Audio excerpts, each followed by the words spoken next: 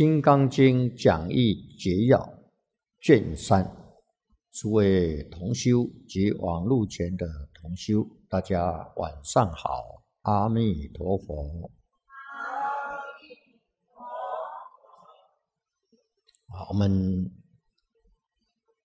这个星期开始啊，调整在星期三晚上啊，来跟大家学习啊，《金刚经》讲义节要。我们今天晚上啊，要进入第三卷，第三卷讲一节要第三卷，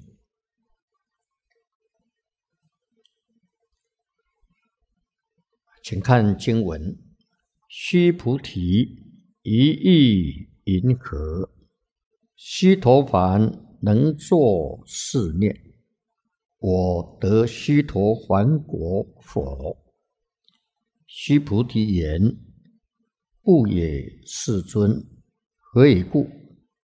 须陀洹名为入流，而无所入，不入色声香味触法，是名须陀洹。”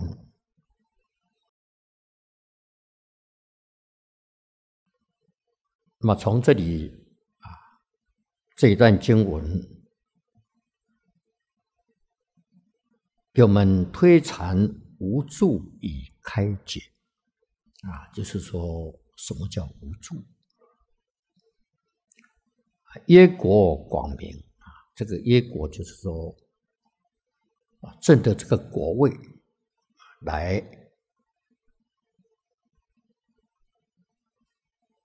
广泛啊说明，叫泛论是果啊，广泛呐。给我们指出啊，这个小圣四果圣人的啊，这个无助，那什么叫无助啊？就用个比较具体的啊，给我们说明了。这段是明出果离相啊，就离世相啊，无我相、无人相、无众生相、无寿者相。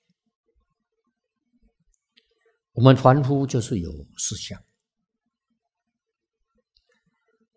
那么从出果圣人开始就离思想，所以这段经文讲啊，这个佛给须菩提讲一意云何啊？西陀凡能作是念，我得西陀洹果佛，就是。证得须陀洹果的圣人了，那么他能起一个念头啊啊，说我已经证得须陀洹了。那须菩提回答世尊说：“不也，世尊。”啊，他说须陀洹不会啊啊，他不会有这样的一个念头啊，我证得须陀洹，他没有这个念头。为什么呢？何以故？啊，就是为什么？须陀洹名为入流，啊，这个入流就是入圣人之流，在这个三不退里面呐，正得出国须陀洹呐，就是正得啊，位不退了，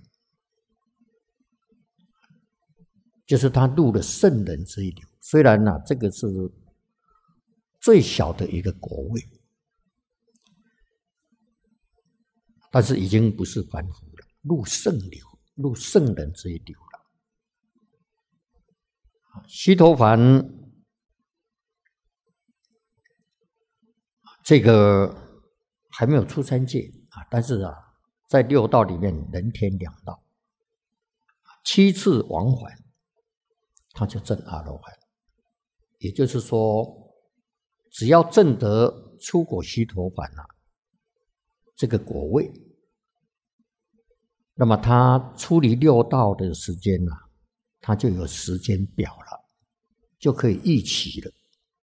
啊，最长啊七次啊，天上人间七次往返。所以虽然还没有出六道生死轮回，但是出生死轮回、出离三界已经有时间表了。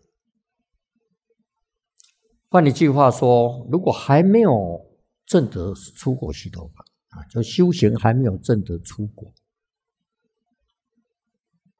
那这个位置啊，这次还是会退的啊。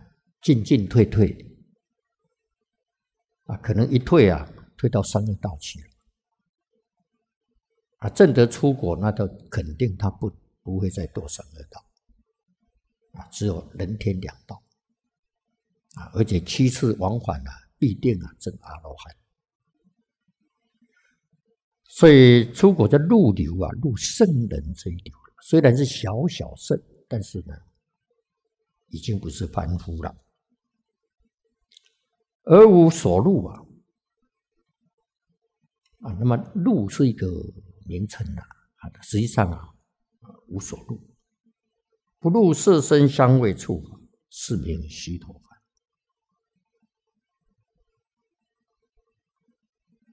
须陀洹呢，他没有这个念头，所以这个叫虚陀洹。我们看讲义一。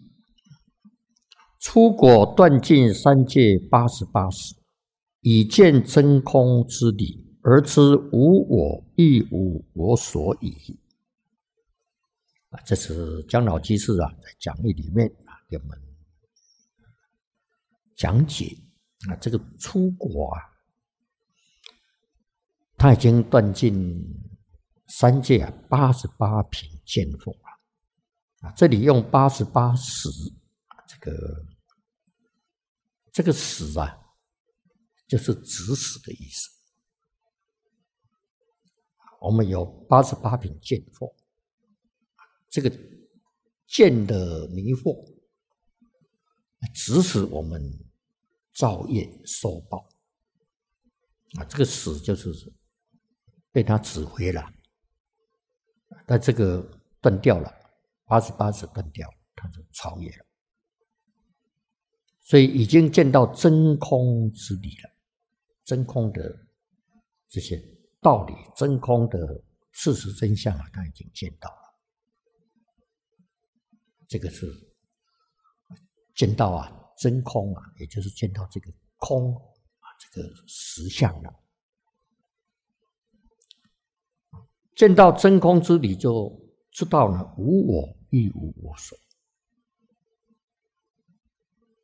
这个我，就是我们凡夫都执着这个身体是我。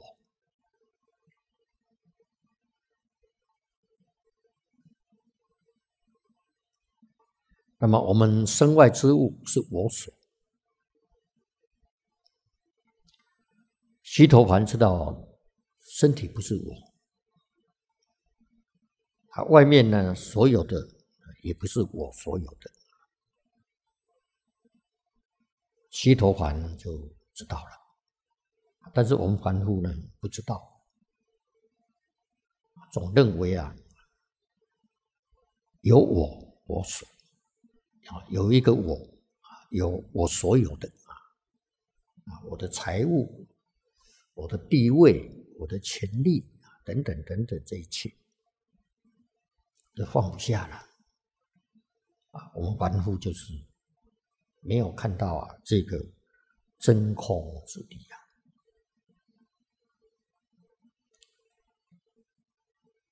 那么出国，他断尽了，他就见到真空，见到真空，当然他自然就放下了。我们为什么放不下呢？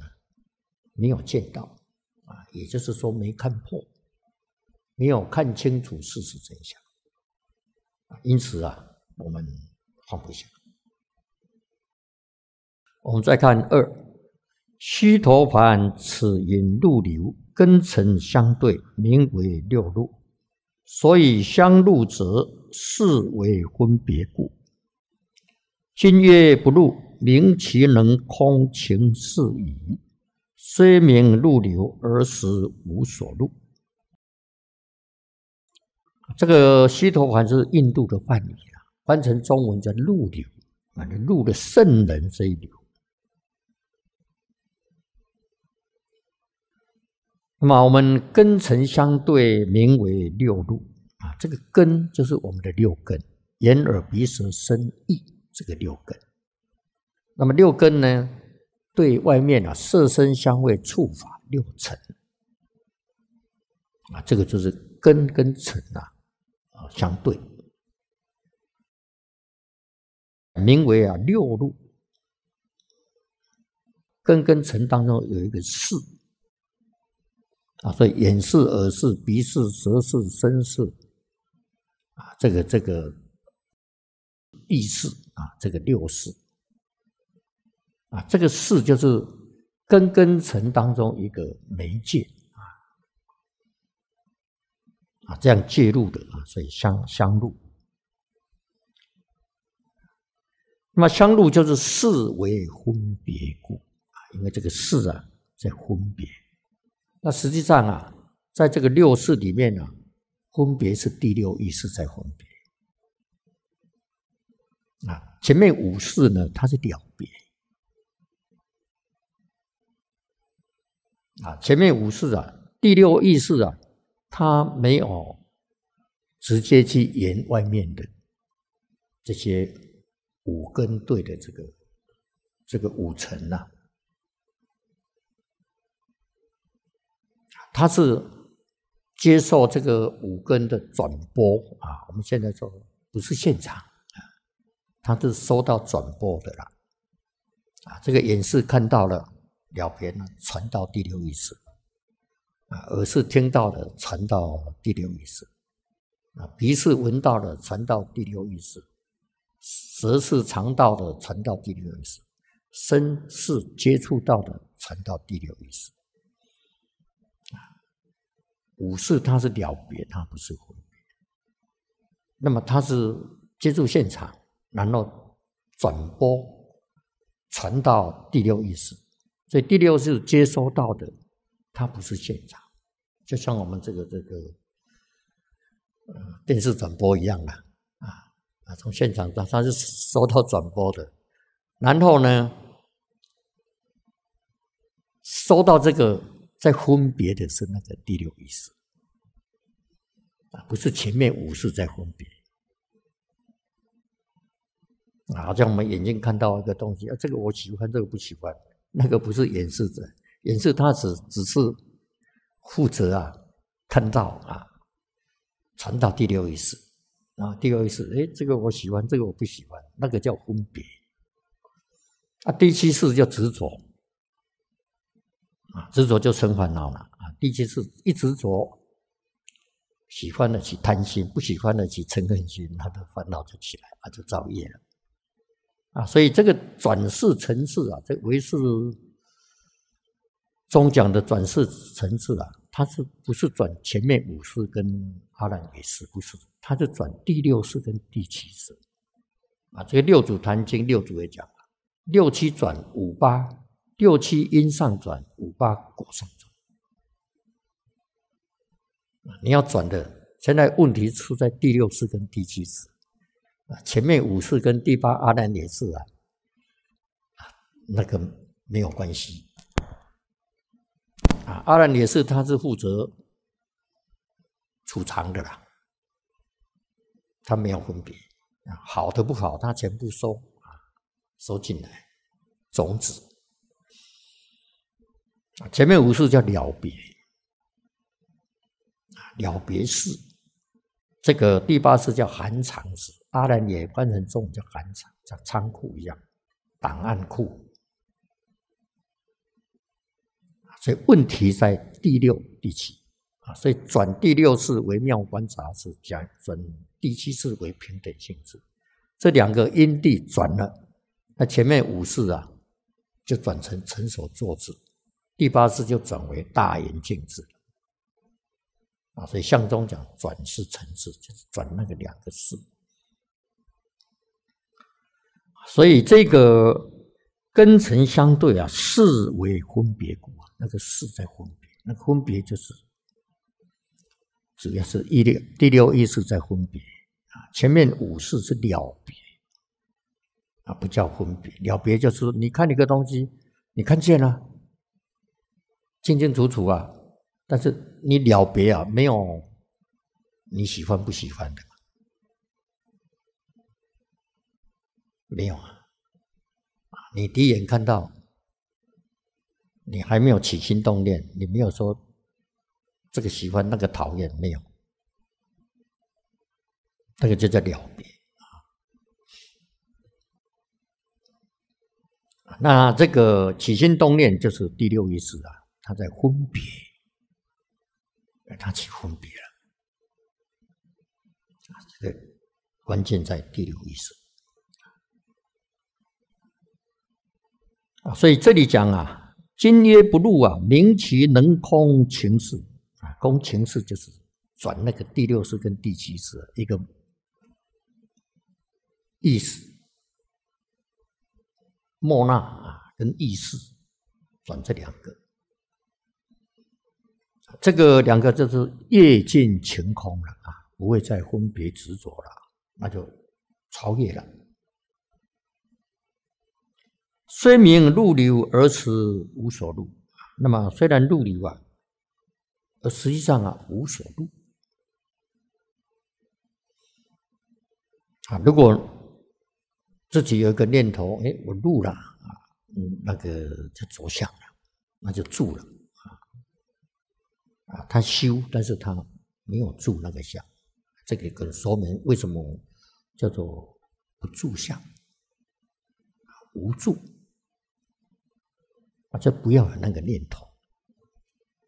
我们再看三，故曰是名虚陀洹，名则假名也，名相也。下是名句，皆此意也。啊，故曰虚是名虚陀洹，这个地方啊，关键就一个是名啊，这是虚陀洹，它是一个名称啊，它是。一个名称啊，叫世名。那名呢，假名也啊。那名它不是不是真实的啊。那所以你不要去执着那个名字相。所以《大圣起信论》马明菩萨也说了：你听经闻法要不着啊文字相。言说相、心联想啊，这些不要去着那个相，你就开悟了啊。因为名是假名啊，名只是一个一个工具啦，一个代表的一个符号啊，一个一个一个工具，所以名它是假名，那不是真实的。啊，是一个名相，一个名相，是名西陀洹啊，就是这是只是一个名词啊，不要去执着这一个啊。我们再看下面呢，四十二名二果离相，那前面是出果，二果离相啊，也是接着上面出果，请看经文。须菩提，一意云何？斯陀含能作是念：我得斯陀含果否？须菩提言：不也，世尊。何以故？斯陀含名一往来，而实无往来，是名斯陀含。我们请看讲义一：出果尽断欲界师佛上上乃至中下。共六品正二果，上一下三品佛。这是讲二果师陀含。那么佛给须菩提讲啊，那这个跟前面出国是一样的，一意云何啊？那师陀含他能够做一个念头啊，啊，我得师陀含果佛啊，他。是不是能有这样的一个念头？那须菩提回答：“不也，世尊。何以故呢？斯陀含名一往来，而实无往来，是名斯陀含。我们知道啊，这个出国啊，断异界师货上上这中下啊，断了六品，八十一史，八十一品嘛，断了六品。断了六品呢，他证到恶果。前面出国是断八十八品见惑，那这个是见惑断了，又断失惑六品啊。断了失惑六品，他就证的恶恶果。那么还有剩余啊三品货。那么狮陀含翻成中文叫一来，这个恶果啊。就是希望啊，就是必须啊，一往天上，一来人间。那出国是要七次往来啊，他往来一次啊，这个延期之后啊，他就升到五不还天了，他还在三界里面啊，那么还要再来。升到这个天，还要再来人间一次，那才能超越啊，才能证阿罗汉。南其心中实无往来之相，那么他心中也没有往来这个相，但没有着这个相啊，就是没有去执着这个啊，一来啊，没有着这个相。因为他没有着这个相啊，是名石陀海啊，所以加一个是名，他是有这个名词的。实际上啊，他心里没有这个念头。我们再看明三果离相，须菩提，于意云何？阿那含能作是念？我得阿难含果否？须菩提言：不也，世尊。何以故？阿那含名为不来，而实无来，是故名阿那含。我们看讲义：一阿那含呐，此云不来，那不来就是三果了。啊，这个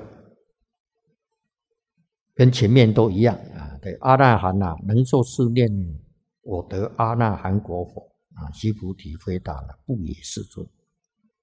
何以故呢？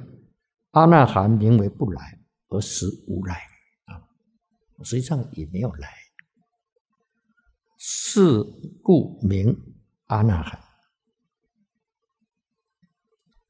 那么阿那含呐，这个就是他升到天上，就不再来人间了啊。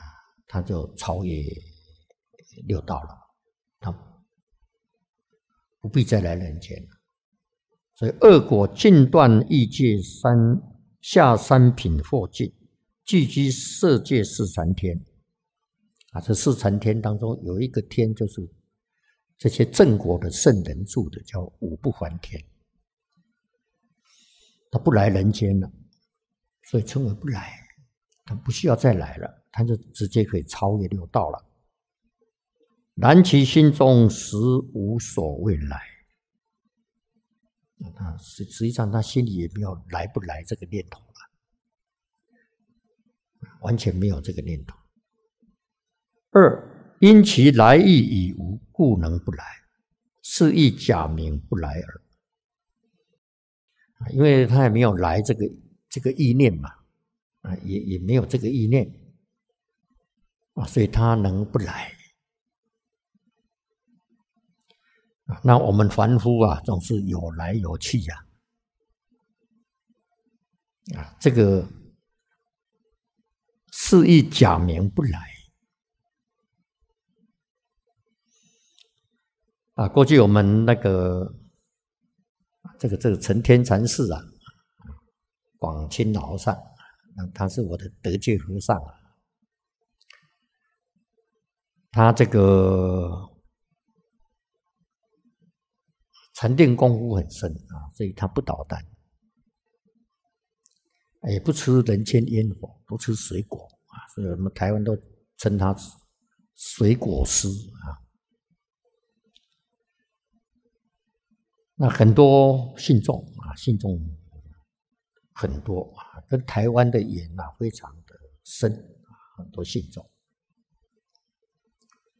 啊。早年呐，我在家的时候，我母亲常常去啊。神田禅寺啊，去拜见广老啊，那，那这个叫我跟他去啊，我都没有跟他去啊，因为我都去听师傅讲经了。那是我出家之后啊，刚好我出家啊第二年呐，那么师傅上来叫我去受戒啊，刚好是他那边传戒，刚好碰上了。那么还没有去受戒，就听到人家在传了啊，说他这个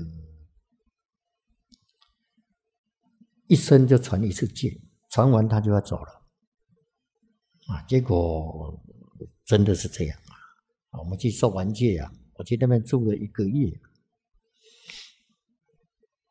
啊，就那一个月第一次见面，也是最后一次见面啊。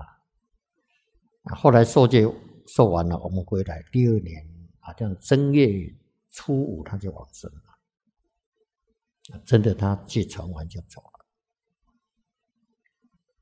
那么他要往生前呢，就说了，那是用台语讲的了啊，无来无去无代志了啊，啊，就是没来没去呀，没事啊，是不来，没有来没有去啊。啊，我们凡夫是来来去去专代志啊，就是我们凡夫啊，来来去去都是都是事情了啊。那我们凡夫是这样。啊，入了圣人这一流，他就没有来去，没有这些是非人我，什么都没有啊。他心中啊清净，所以这个意是假名啊，不来了啊，假的。我们再看下面啊。明四果离相，须菩提，一意云何？阿罗汉能作是念：我得阿罗汉道否？须菩提言：不也，世尊。何以故？实无有法名阿罗汉。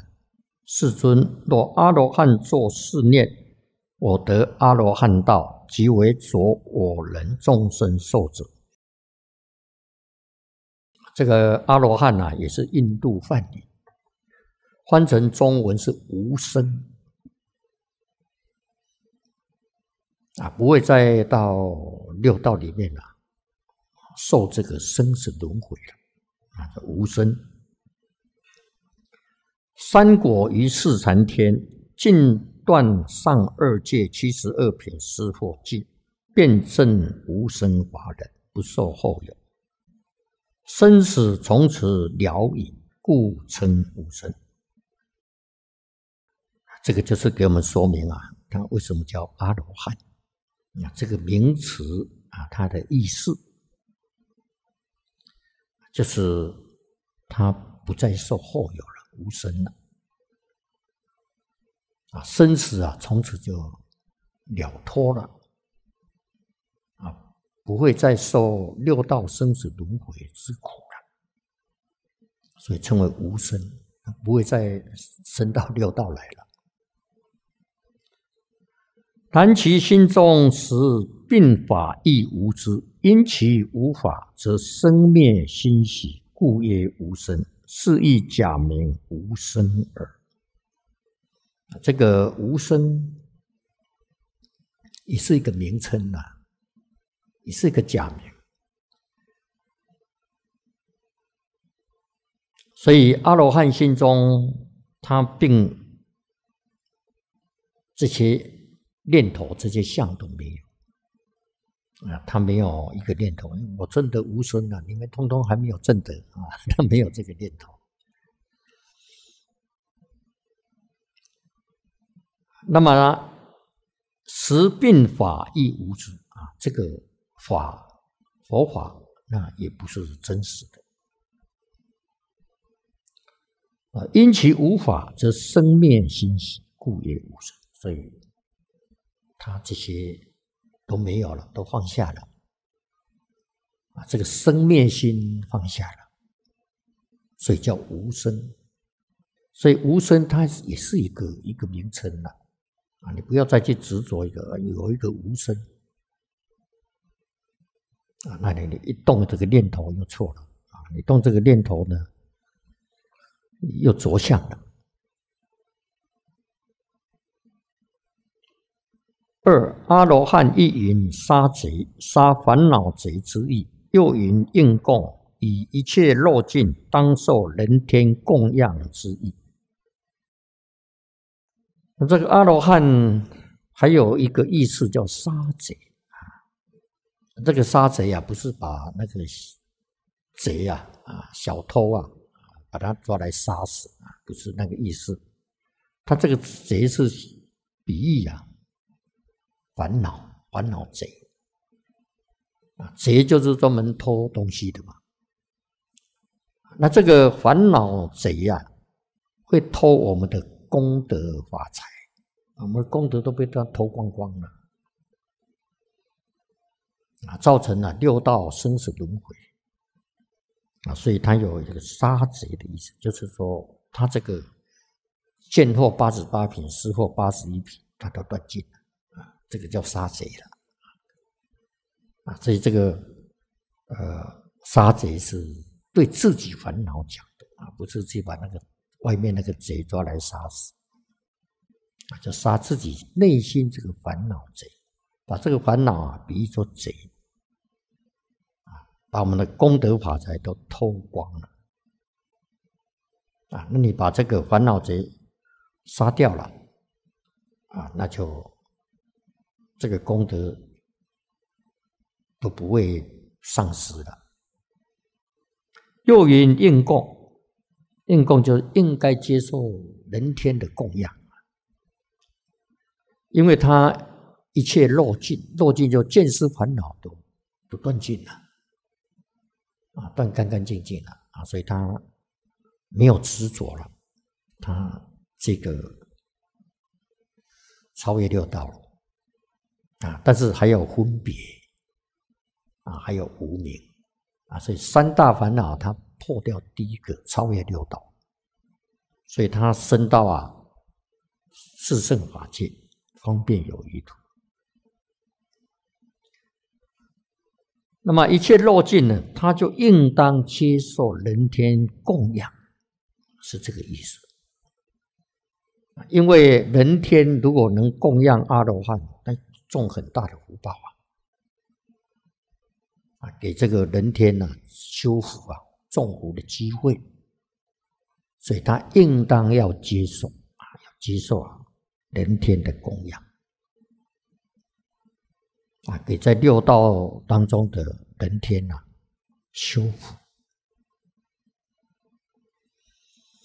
好，我们再接着看下面：师之正成，曰当机无德正，引佛说啊，请看经文。世尊，佛说我得无真三昧，人中最为第一，是第一离欲阿罗汉。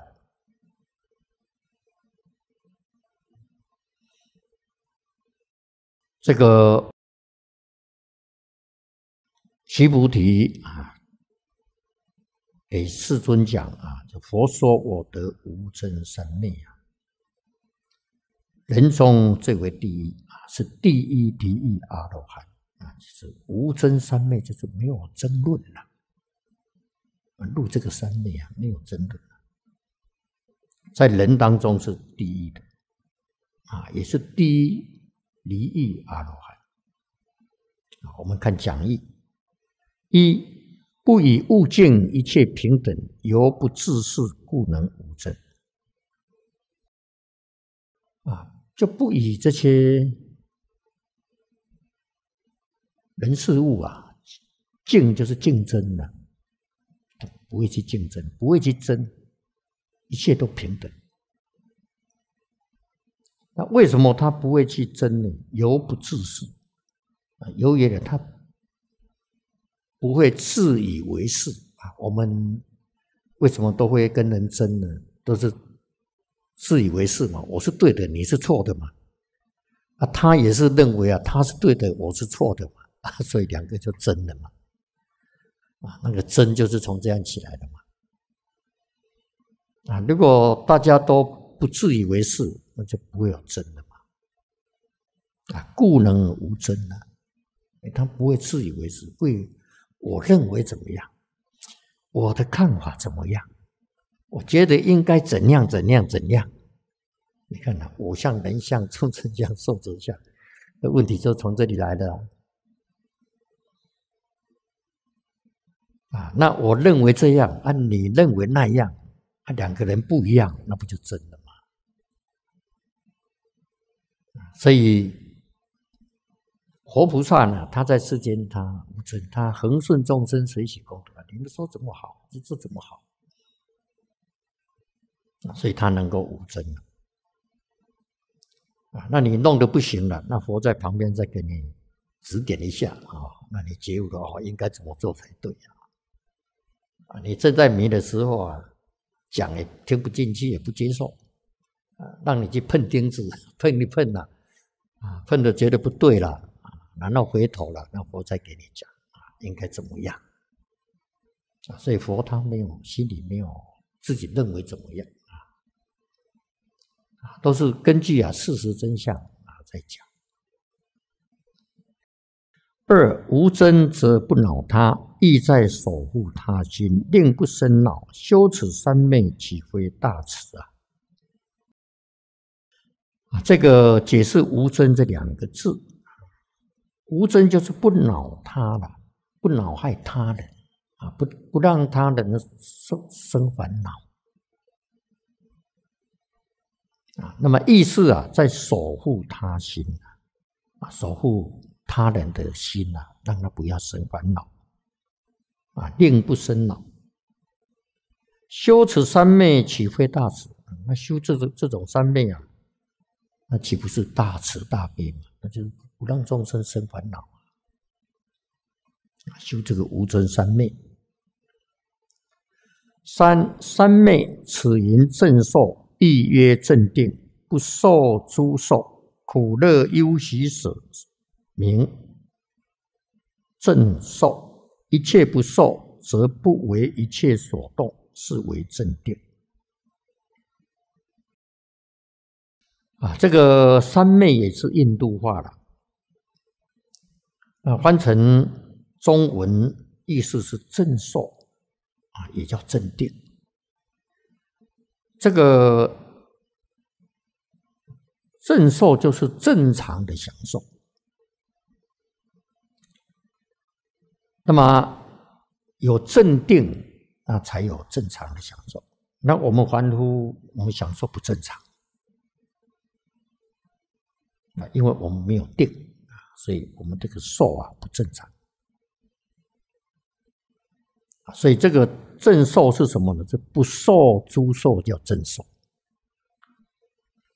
啊。诸受是什么呢？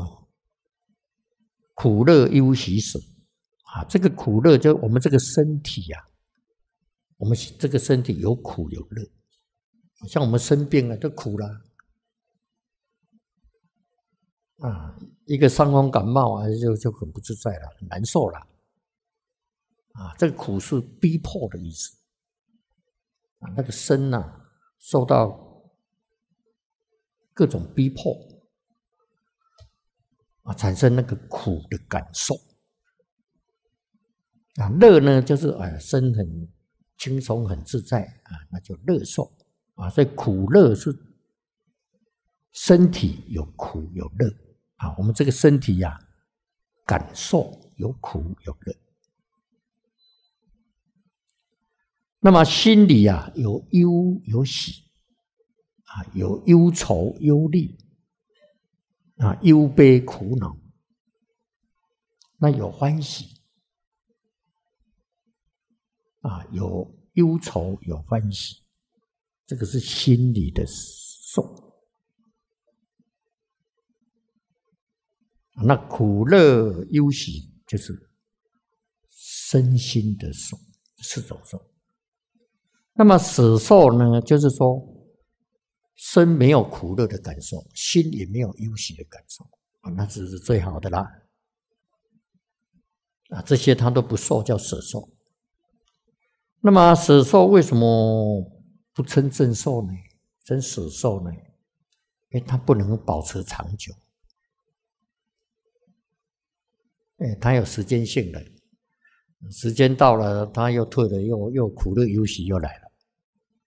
啊，所以外道修的这个禅定啊，到升到色界天、无色界天四禅八定，他们在定的境界当中，他没有苦乐忧喜，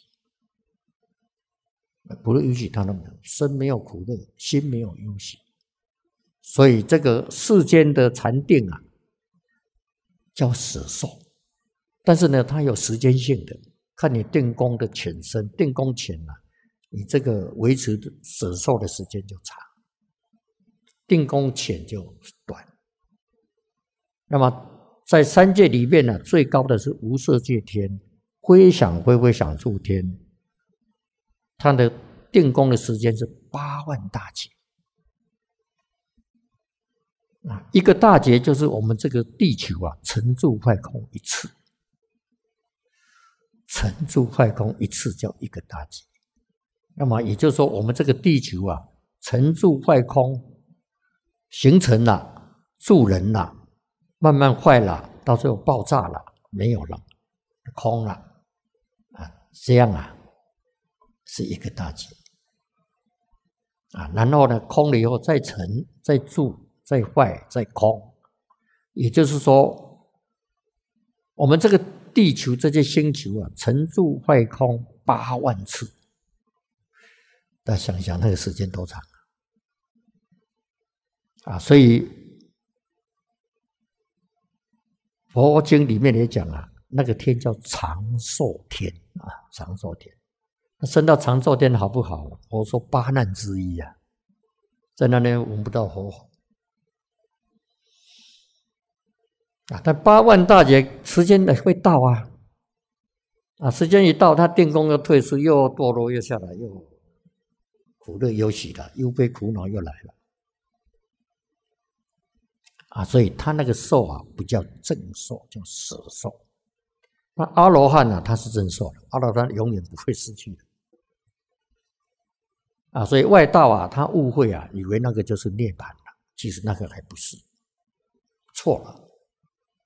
佛出来啊，大家说的那个不是啊，但是印度很多外道修到那个境界，他以为那个就他就永远不生不灭了，结果还是会生灭啊。所以这个不受诸受，就是你苦乐忧喜舍都不受，那个才叫真受啊。一切不受呢，则不为一切所动，是为真定。因为你一切都不受，所以苦乐忧喜舍你通通不受啊，不不被这些所动，那这个就是真定了。我们再看四，然此三昧之所以成者，则由于人我是非之相皆空耳。这个无尊三昧啊。为什么能成就这种三昧呢？就是由于啊，人相我相啊，就是我相、人相、众生相、寿者相啊，这些是非皆相皆空了，没有，没有人我是非了啊，这个人我是非都是从着这个事相产生的了。那么事相呢？它不是真的，它是它是希望是空的！因为我们执着一个我，我们总是有一个坚固的这种执着。那有我，那就有人了啊！那这个我跟人，那它是就对立起来了嘛？相对嘛，对立起来。那有人，那就有众生嘛，就很多了。啊，包括植物、动物、矿物了。啊，这些众生相啊就出现了。受是指时间了，他那个时间从来没有没有啊没有暂停的，停一下没有啊，这这个执着的念头啊，从来就没有间断，没有暂停啊，所以就就受着相，就执着我相、人相、众生相这个念头啊，念念不断啊，这个妄念呢，念念不断。啊，这个念头一断，那你就没心见性了啊！就是念念不断啊，那才造成六道轮回、十法界啊，好像那个机器一直在转嘛啊，所以那些幻象都一直跑出来啊，它都没停嘛。那没停，它就一直出现了。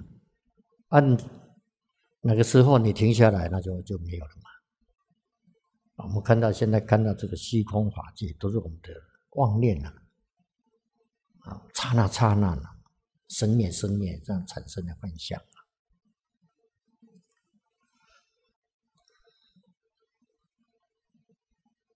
啊。所以这个三昧呢，这种三昧，所以能成就呢，就是由于人我是非这个相，知道这些空的、假的，不是真的，他就不会去执着啊，他不执着，他就成就这个三昧。无虽得无真三昧，而不存有所得心，是自忘其在定矣。此为离三昧障，乃真得无真，真得三昧，故称第一离欲阿罗汉。这个就给我们说明啊，虽然得到无真三昧。而心呐，没有存有一个所得的心啊，没有一个念头说：“哎，我我我我我已经得到无真三昧了。”没有这个念头啊。他为什么没有这个念头？是自忘其在定啊。他在定中也忘记说他是在定中了，他也不执着那个禅定了。那么色界天人、无色界呢，他为什么不能出离三界？关键就在这里，因为他贪着那个禅定啊，他贪着那个禅定，关键就在这里。他如果得到那个定，他不贪着那个禅定，他就超越了，这这这真阿罗汉了。就因为他执着那个禅定。那禅定很快乐啊，他执着在那个上面啊，所以这里讲自忘其在定，就是他不执着他那个定，他得到那个定，但是他不执着那个定啊，此为离三昧障，因为三昧也会造成障碍啊，你你起了那个叫贪禅业啊，贪那一个。那那个也是贪呐，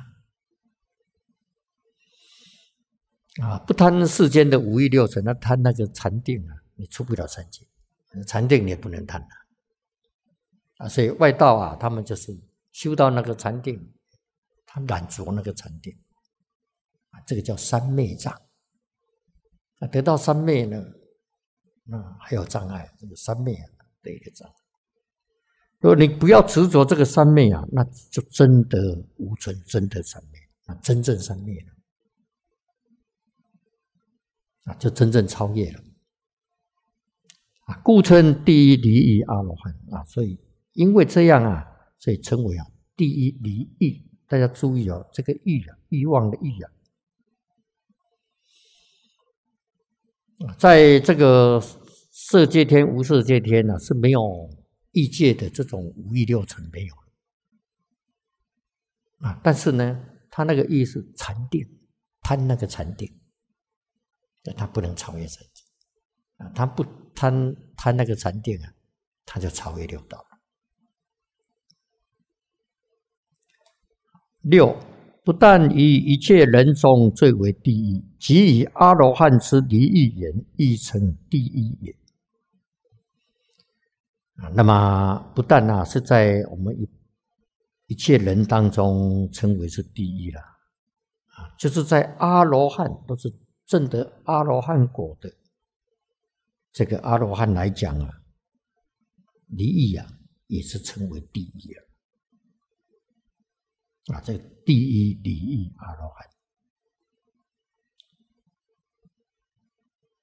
好，我们再看下面经文：成离相，我不做四念，我是离异阿罗汉。这个两句经文就给我们说明啊，成离相啊，成就是给我们说明啊，啊，为什么叫离异阿罗汉？啊，因为呢，我不做四念呢，我是离异阿罗汉，所以他叫离异阿罗汉。他没有没有那个念头啊，所以他是离异阿罗汉。啊，那总是啊，不能去执着那个相。啊，再看下面呢，是所以啊，就下面经文是解释所以反显。啊，反显就是说，从反面来显示这个道理。世尊，我若作是念，我得阿罗汉道。世尊则不说悉菩提是要阿兰那行者。这个是解释所以啊，那么用个反面啊来显示这个道理。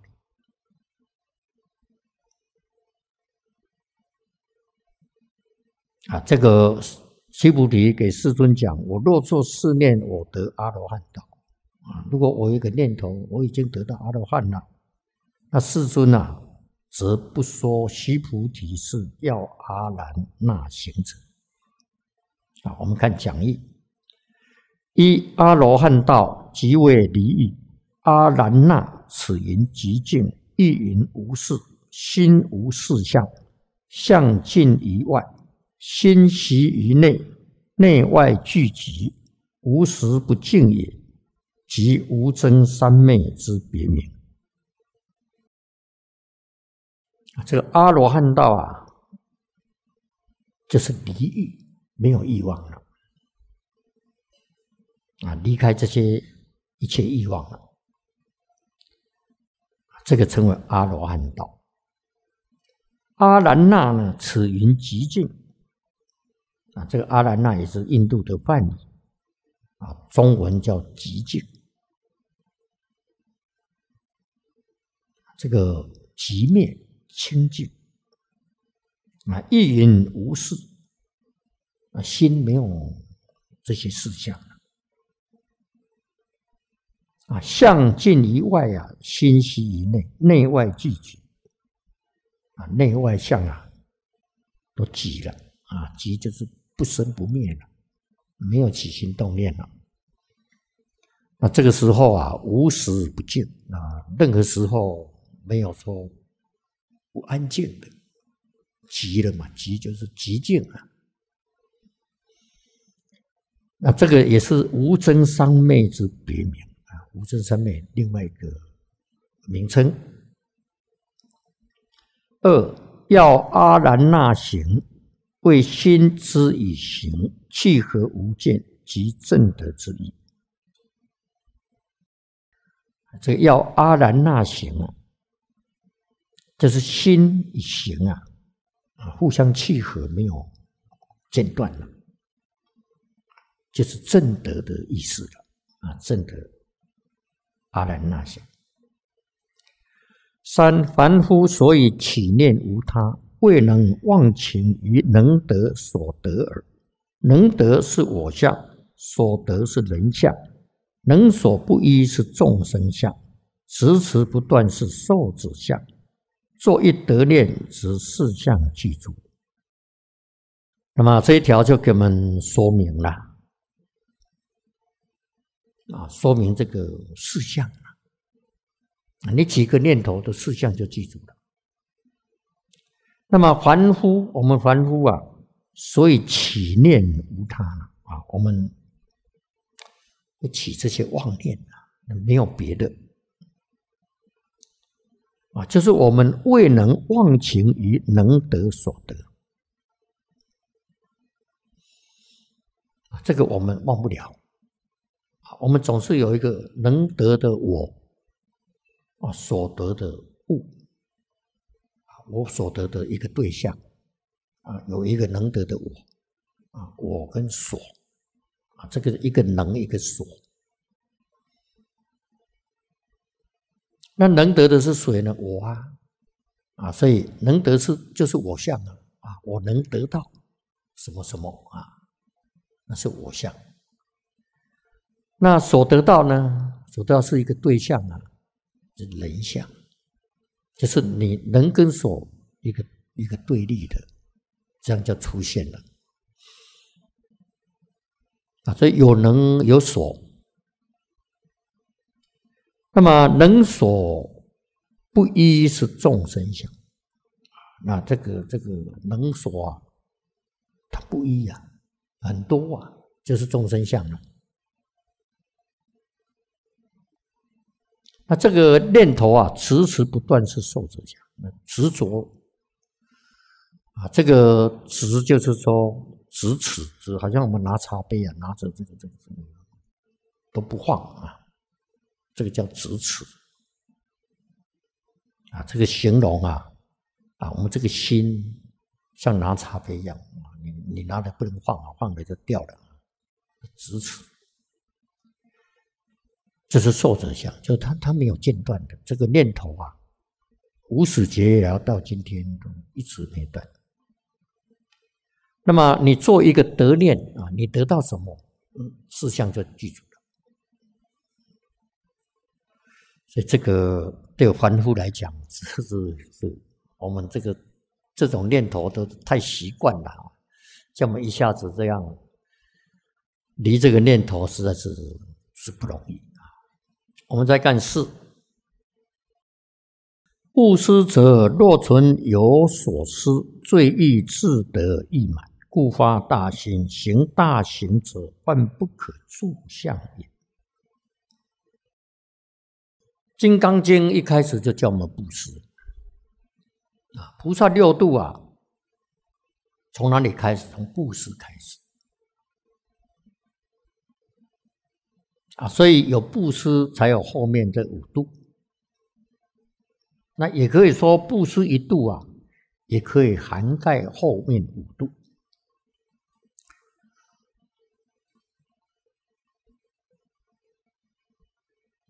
所以《金刚经》一一开始就教我们要布施。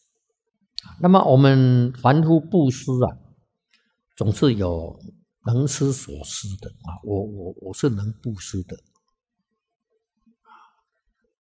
我能布施啊，那有一个对象是我所布施啊，我布施多少钱给他啊，给哪一个人，给哪一个团体，哪个单位啊，这个就能跟所。那么布施则若存有所施啊，我布施了多少啊？布施给谁啊？我做了多少好事啊？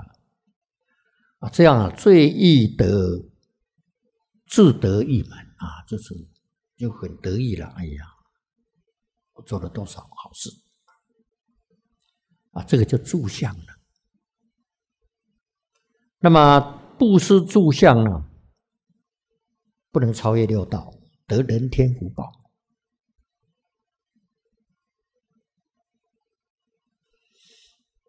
啊，所以他会自得意满啊。你看这个梁武帝啊，他是大布施啊，以国家的资源呐，来盖了四百八十座的寺庙啊，那个寺庙都是大规模的啊，安顿出家僧众二十几万人。啊，这达摩祖师从印度到中国来啊，拜见梁武帝啊，梁武帝就给他讲了，给达摩祖师讲了，他说：“我这个盖了四百八十座的寺院，安顿数十万出家人，我这个功德大不大？”达摩给他剖了人生，并无功德。为什么给他说并无功德呢？因为他住相了。你看，我盖了四百八十多，安顿了多少出家人？哦，这个不得了啊！啊，所以这个功德，它是指定慧了，啊，这是功德。如果梁武帝问他我的福福福报大不大？那达摩肯定说甚大甚大，那太大了，这个没有人跟能跟你相比啊。所以《金刚经》也是都是举这个比喻啊。如果有人持三千大千世界七宝布施，哇，那这个这个福报那不不晓得多大了啊。但是呢，不如有人呐，在《金刚经》啊，以四句句自己受持为人演说，让他那福报就胜过那个。所以这里讲布施若存有所施，最易自得一满啊。那像梁武帝，他是一个很实际的例子。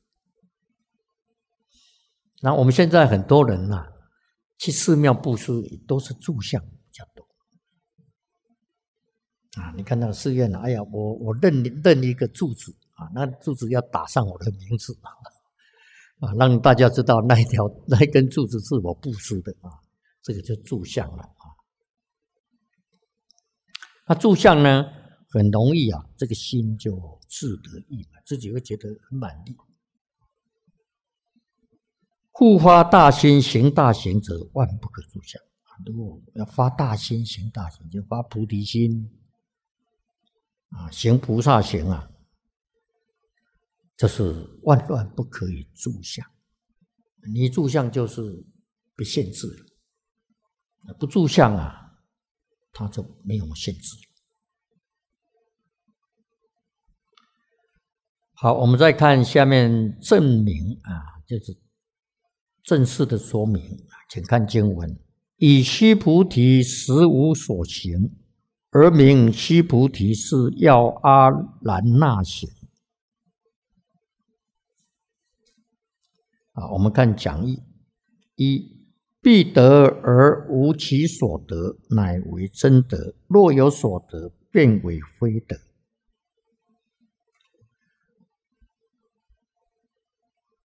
这个必得而无其所得，乃为真德啊！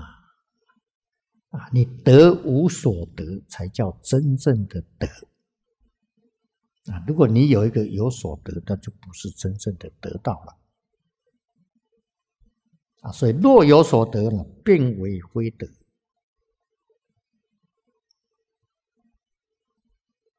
啊，所以我们常常念心经啊，啊，心经啊，大家念得很熟悉的啊，这个这个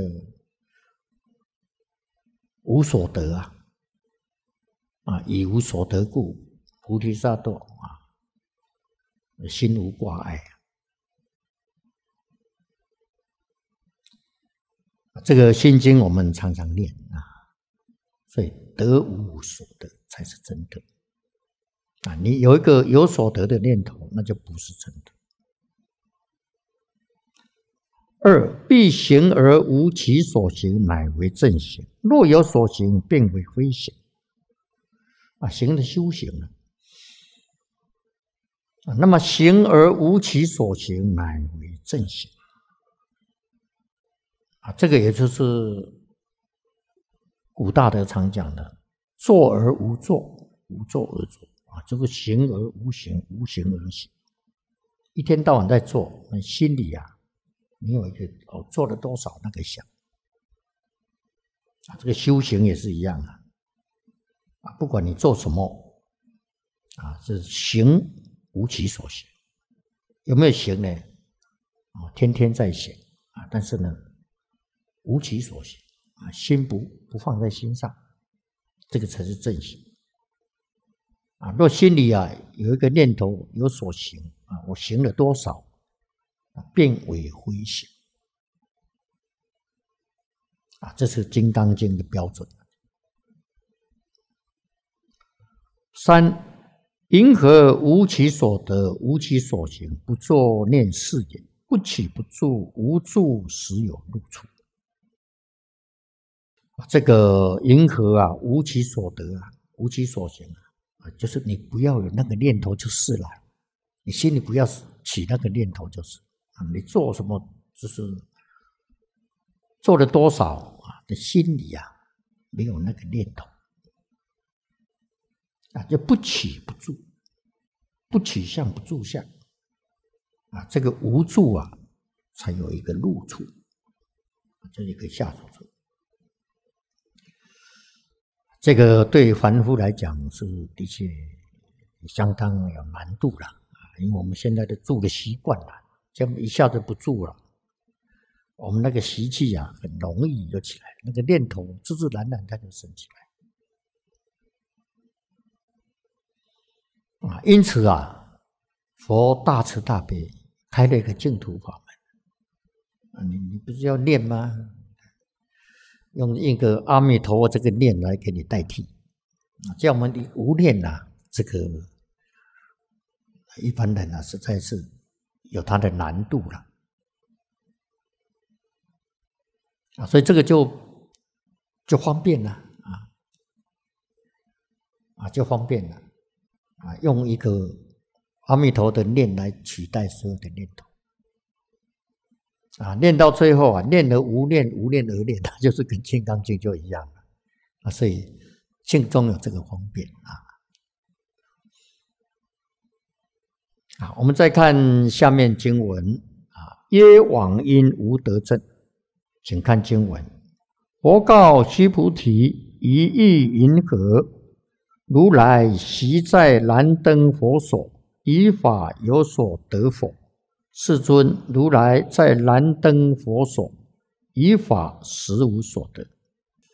啊，我们看讲义一：此世尊往昔行菩萨道，出正八地时之事，望佛果，则为因地；望出邪人，则为果地。那么这个讲义给我们说明这一段经文啊，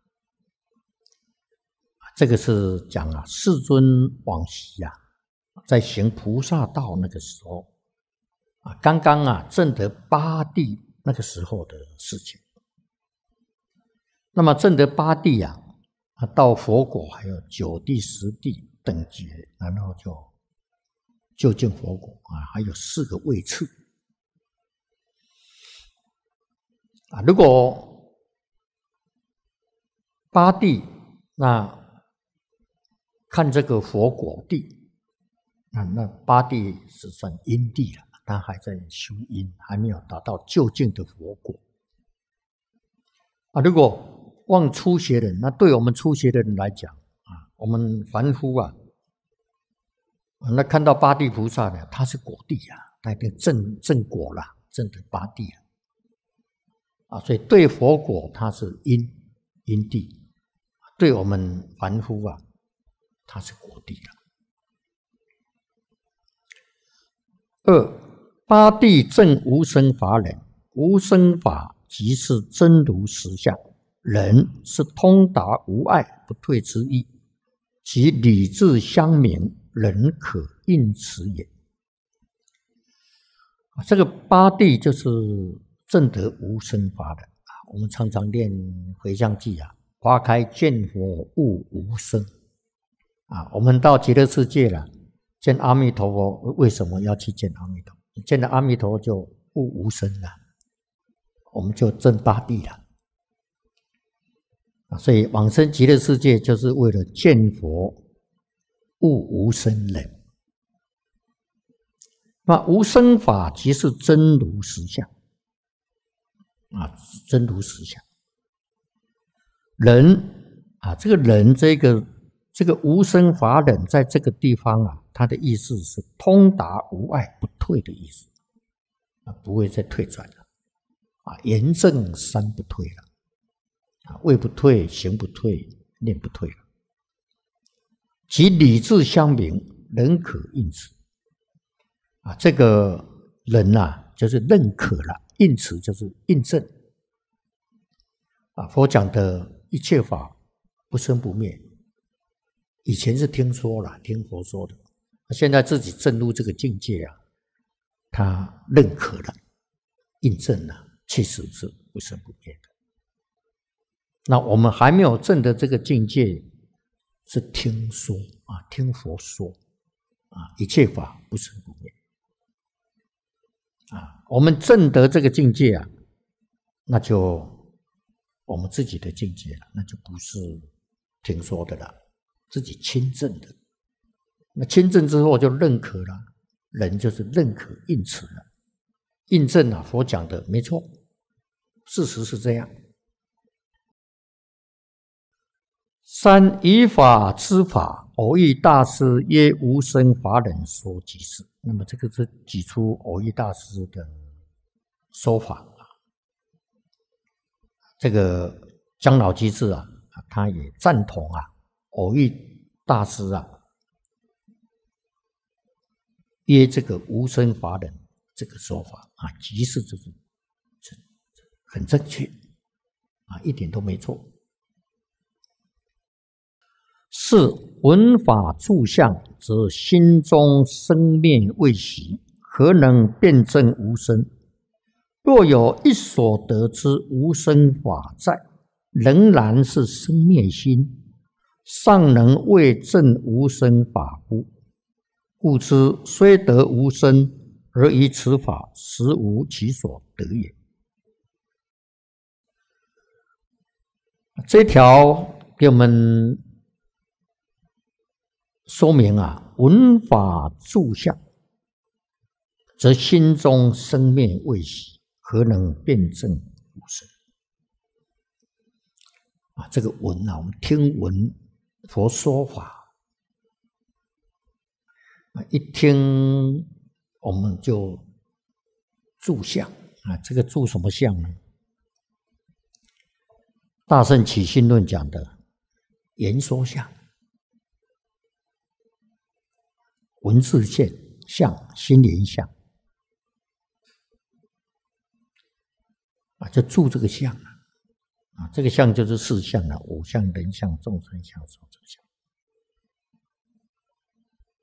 啊。所以文法住相，住相就是为什么住相呢？我们心中那个生灭那个念头还没有停下来，未息就是还没有止息下来。啊，那没有仔细下来，何能辩证无生呢？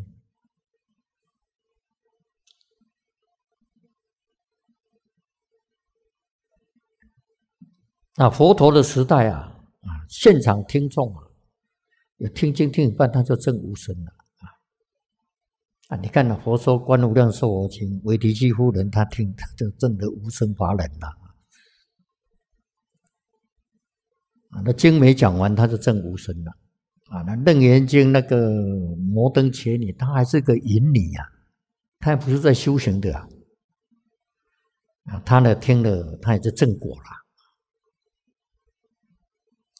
她为什么她听经能够证得无生呢？因为她心没有起念，那说听他就相应了。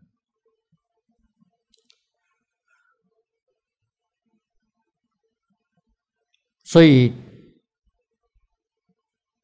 听经、读经、看经啊，会听、会看、会读的，那会开悟啊。他的道理就是他不起啊。这个也就是我们我们老上常常讲啊，就是读经啊，不能去想它的意思。啊，不能想他的意思，就是用读经这个方法，把你那个妄念啊取代过来，啊，就是跟念咒念佛一样，就代替那些妄念，因为你的妄念就是在生灭，就是在分别，在执着嘛，那个意识心在分别执着，啊，所以这样读他会开悟。那很多人读了很很很很多部，为什么不开悟？他执着。啊，我读三千部了，你多少呢？我四千，你呢？五千，着相。啊，所以读了几十万部还是不开悟。啊，你看那个六祖坛经啊，法达禅师他妙法莲华经读三千部，那那，那比我们那个无量寿经分量多太多了啊。都两三倍了啊！你看读了三千部那真的是不容易了。那他为什么不开悟呢？看到六祖啊顶礼头不着地啊，六祖就看出来了，你心里一定还有一个东西在，所以你看到我啊顶礼头不着地。还有这个傲慢心啊，也用我们现在话来讲啊，就是说，你心里呀还有值得你骄傲的事情啊。我们现在人不是常常讲，做了一个什么事情，哇，这个值得骄傲啊。这些外国人呐。啊，啊那这个他就是呃，这个他不得了啊，嗯，很难有人像他能够读三千部的《法华经》啊，啊，那么他为什么不开悟？住相啊，所以他不能开悟啊，不能证无生啊，啊，所以六祖给他开示。啊，那个时候他才放下这个分别执着，他当下就也一下就大悟了。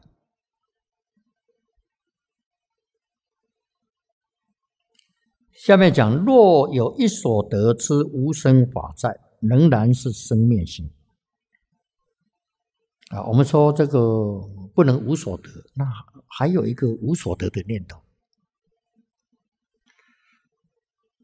还有一个无所得的无生法在有这样的一个念头，仍然这个念头还是生命性，所以这个生命性很细的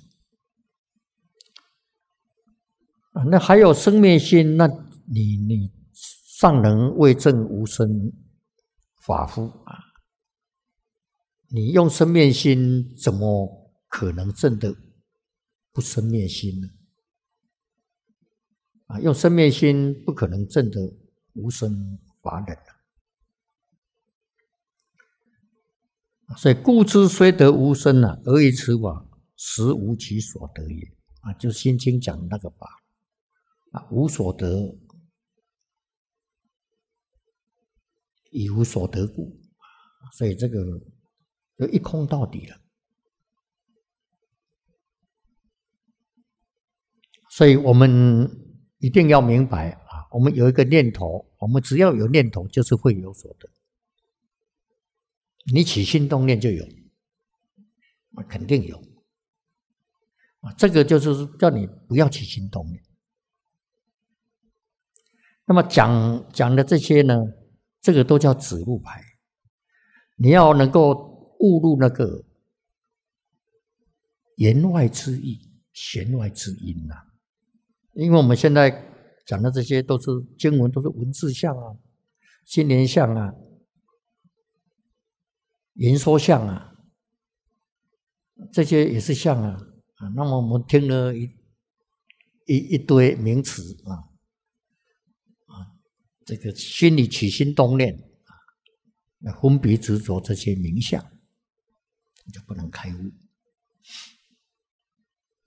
那一定要把这些放下啊！不要去放在心上。所以古大德讲啊：“听而无听，无听而听，啊，说而无说，无说而说。”那这样就能悟入那个境界。我们再看五：菩萨住相便不能成佛，发心修大圣者，若其住相岂能成菩萨？又岂是菩萨行？啊，这个是《金刚经》的标准。啊，《金刚经》讲啊，啊，菩萨若有我相、人相、众生相、寿者相，即非菩萨。啊，他这个菩萨的标准是不能有四相。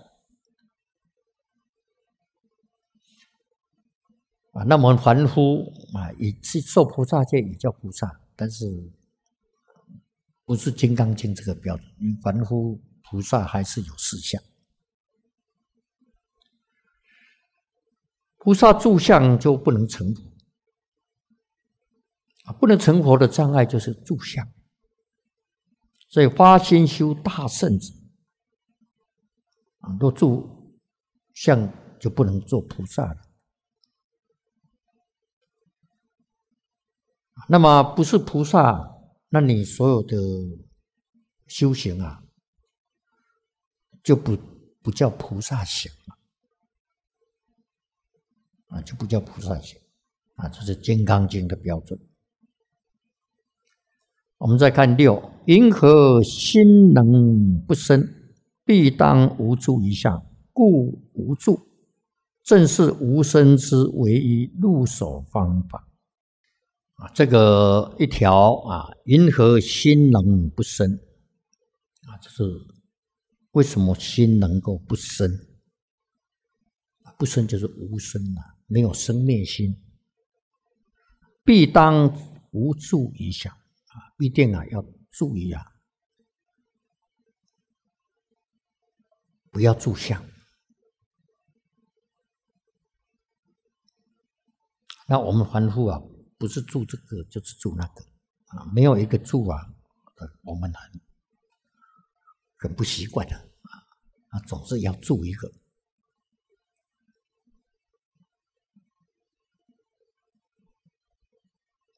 啊，所以讲一个啊，我们就必必定住一个相，所以这个就障碍我们开悟啊。所以无助啊，正是无生之唯一入手方法啊。这个无助就是无生之唯一入手的方法。那么用《金刚经》啊，这个所讲的八万四千法门呢，也都是。要无助生心。那么修静中，它主要是一个方便啊。它这个方便呢，是就近。实在讲啊，没有用这个方法的，我们凡夫啊，要修到这个啊，这个这样的人是有了，但是很少了。上上根的，不要说上上根少了，上根的人都不多。我们一般呢，大部分是中下根器，这个占大多数。中下根器啊，教门无助啊，这个是难度高，所以其他的法门通通要无助。那唯一啊，就净土法门，你可以住啊，你住还可以。横超三界！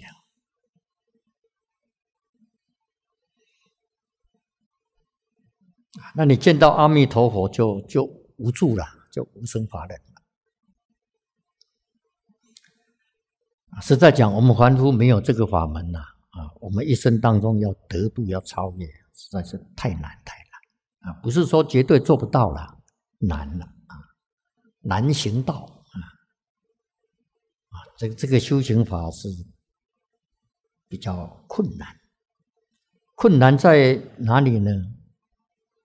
在我们这个这种起心动念的太习惯了，太熟悉了！你你你你不刻意的，它就自己就冒出来了，啊，难在这个地方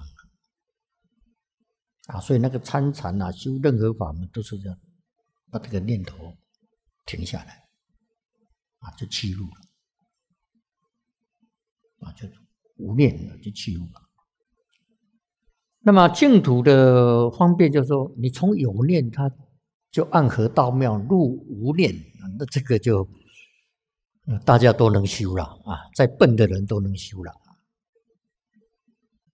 啊，这个从有念入无念啊，从有念念念念到最后，他他他自然就无念了。